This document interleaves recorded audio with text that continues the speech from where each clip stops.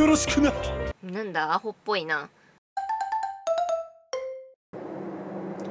ほい。ということで今回もやっていきたいと思います。めちゃくちゃ不穏な空気から始まったけど。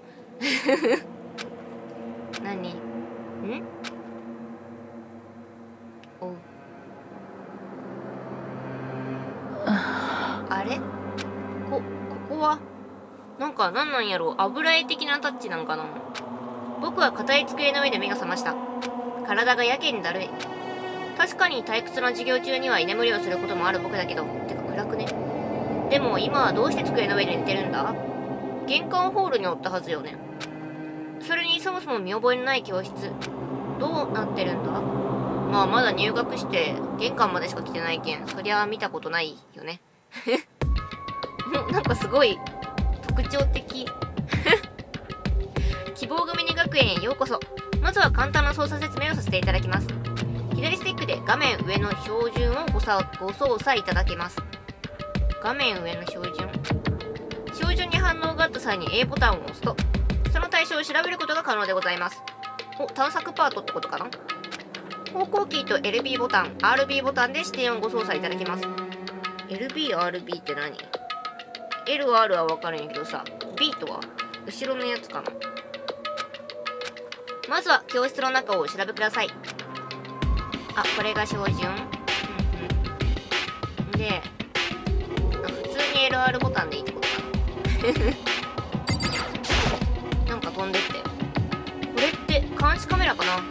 最近は物騒だし不審者が入ってこないように設置してるのかも。えでも玄関先とかだけでよくない？壁のキリン柄が気になるんやけど。キリン柄よねこれ。刻はいつの間にか8時を回っている。僕が玄関ホールに入ったのが7時10分くらいだったからあれから1時間近く経っているのか。え遅刻やん遅刻。あでも教室に入っあでも玄関ホールに8時集合よね。遅刻やん。テレビがある。政府公認の学園なんだから教室にテレビくらいあってもおかしくないけど。なんだろう。何か異様な雰囲気を感じる。え政府公認の学校じゃなくてもテレビくらいあることない？えてか普通にあるよね。小学校からあったけど。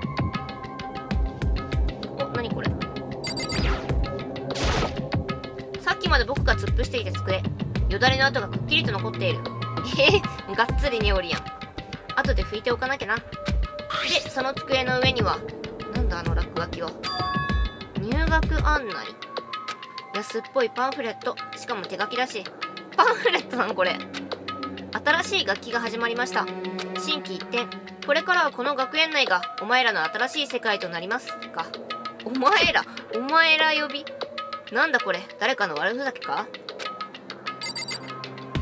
てか今さなんか普通に漢字に直してくれとったけどパンフレット自体にめっちゃひらがなやったことない。え？外に出る前に教室の中を調べてみよう。今私出口を指したつもりはなかったんだけど。常在戦場。え常に戦場？お何これ？めちゃくちゃでっかいボルトで止められてるけど。ななんだよこれ。本来の教室なら窓があるべき場所。だがそこには鉄板のようなものが打ち付けられていた。拳で叩いてみるとコンコンとかじゃないよね。音やっぱり鉄板だな。しかもかなり頑丈で分厚そうだ。いやそんな分析よりもそもそもどうして鉄板が？えー、っとこの状況から察するに緊張のあまり玄関ホールでつらみした僕を誰かがこの教室まで運んでくれたとか。今そこはそうかもしれんけど まずこの場所の異様さはとするとこの教室って希望が峰学園の教室ってことになるよな。でもそれにしては異様だ。とてつもなく異様だ。あやっぱ異様とは思っとるね。窓に打ち付けられた鉄板。まるで牢獄のような圧迫感。意味不明で理解不能。とりあえずもう一度玄関ホールに戻ってみようかな。集合時間を過ぎてるし他の新入生が集まっているかもしれない。B ボタンを押していただくと部屋から出ることが可能でございます。あなるほどね。別にどう調べんでもいいんや。えてかさちょっと今今思ったんやけどこれめっちゃなんか証言台みたいじゃない？ちょっとでかすぎるけど。ねえなんか教託って感じではないけど。で B ボタン。外に出ます。えー、何？もうなんか色がめちゃくちゃ。なんだか廊下まで不気味だな。ますます意味不明だ。本格的に理解不能だ。とりあえず玄関ホールに行こう。えてかさちょっと色使いとか気持ち悪すぎてこんなとこ一人でおったら発狂しそうなんやけど。左スティックで廊下を移動できます。B ボタンを押しながら移動するとあなた様は走ることもできます。あなた様。丁寧だな。んなんかすごいドット。また廊下では Y ボタンでこのようなマップをご覧いただけます。ねインってあるよ。何あれ？宿屋？違う。ドラクエでは宿屋じゃない？あの円マークは？ATM かな？もう一度 Y ボタンを押していただくとマップが消えます。なんと便利なのでしょうえで向かうのは玄関ホールよね。多分あれが門なのだろう。あの ATM っぽいとこの前。今私がここにおるけん。どこだ？こっちか。おおびっくりした。よしこっちやね。え、なんかめっちゃ閉じられとるやん。購買部よ購買部。購買部って書いてある。でも開かないな。えー、何怖い？なんか事件起きたんじゃない？なんなんやろ？これ。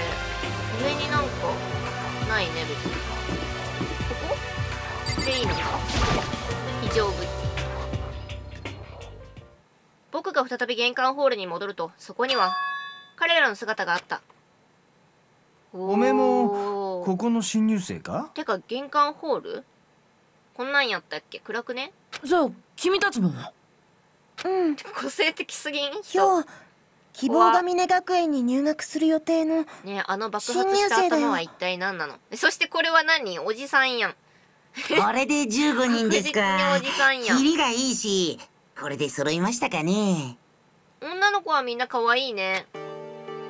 彼らが希望が峰学園に選ばれた超高校級の生徒たち。その場に揃った顔をゆっくりと見回してみる。なんだかオーラのようなものを感じると言ったら言い過ぎだろうかいや感じるよ。え怖えこんな場所やったっけ？違うよね。なんか綺麗なとこじゃなかった？えっとあのはじめまして。苗木誠って言います。いろいろあっていつの間にか寝ちゃっててそれで遅れちゃって。おめえもそうなのか？うん。とするとますます妙ですわね。肌白すぎん？むむ異常だ。これは間違いなく異常事態宣言発令ですぞ。これもおじさんよね ああのどういうこと？よく状況を把握できていないんだけど。いいか？ちょっと待ちたまえ。その前にだ。行きたまえ。あこいつがあれじゃない？超高校級の風紀委員。なんかすごい軍隊みたいな感じだけど。苗木くん遅刻とはけしからんじゃないか。8時集合と知らされてあったはずだろう。入学初日に遅れるなど言語道断。学校側に報告の上厳正なる処罰を。はあ？んた何言ってんの？しょうがないじゃんこんな状況なんだからさ。あこの子が超高校級のギャル？あれ？なんかそばかすあるね。え？見た時あったっけ？そうだ！加工メイクが濃いってことかな？撮影の時やけ。それより改めて自己紹介しない？遅れてきたクラスメイト君のためにもさ。自己紹介だ？んなことやってる場合じゃねえだろ。ですが問題について話し合う前にお互いの素性は分かっていた方がよろしいでしょう。なんてお呼びしていいのか分からないものでは話し合いもできないじゃありませんか。それもそうだよね。えっじゃあまず最初に自己紹介ってことでいいですか？話し合いはその後ということで。なんかみんな格好バラバラやけどさ入学式でえこの高校の制服は？いまいちこの状況が理解できてないけどとりあえずは自己紹介ってことでいいんだよな。ならこれもちょうどいい機会か。みんなのことは希望が峰学園新入生スレで一通りは調べてあるけど実際にはどんな人たちなのかそれを確認しておくとしよう。まず最初にあの5人から話を聞いてみよう。生徒の皆様に照準を合わせ A ボタンで会話が可能でございます。会話はストーリーを進める基本となりますのでお忘れなきよう。ちょとりあえず周り調べよう。何？これ。なんか銃ついてない？怖っ。撃たれるやん。カメラよね上のは。監視カメラに銃みたいなものがついている。まさか本物ってことはないよな。えー、怖すぎ。これなんかボタンみたいのあるよね。そしてこれは？ななんなんだこの鉄の塊。まるで軍事施設みたいな扉。ここってさっき入ってきた玄関ホールだよな。こんな扉じゃなかったと思うけど。扉とかありましたっけ？まず。で何かテレビがある。同じ感想じゃねえか。何のトロフィーなんやろ。こっちは。えー、この掲示物も気になれよ。これ何？レターボックスが置いてある。中には何も入ってないな。じゃあお話を聞いていきましょうかね。左から。石丸清隆。僕の名前飛び上がる。は石丸清隆だ。座右の銘は質実剛健。お互い学業に切磋琢磨して頑張ろうではないか。うん苦手なタイプだな。超高校級の風紀委員石丸清隆。石丸清隆って名前。希望が峰学園新入生スレで見た情報によると清隆ってそういう3文字なんやね有名進学校で常にトップの成績を取り続けそこをも日のつけどころのない超優等生だったな。風紀委員としての活動も有名で何よりも規律を重んじる超高校級の風紀委員って呼ばれてるとか。うん君の名前は苗木誠だったな。苗木誠。実にいい名前だ。立派な名前をつけてくれたご両親に感謝したまえよ。高校生っぽくないな。何あれ「さん」って書いてる爪襟のとこいいかね？そして君もその名前に負けぬよう。日々精進したまえよ。いいか？人生には努力を費やすだけの価値がある。そうだろ？そうなのだよ。自己完結。なんだかめんどくさそうな人だな。そして女の子。深川とどうせ私の名前なんて後ですぐに忘れるんでしょうけどしたどうしたすごく暗いぞ。どこよあ深川ってそういう感じなんやね。超高校級の文学少女。深川東子文学少女？深川東子10歳の時に書いた小説が話題となりそれをきっかけに文壇デビュー。えいすごい。2年前に執筆した「磯の香りの消えの間に」はそんな彼女の代表作ともいえる恋愛小説で。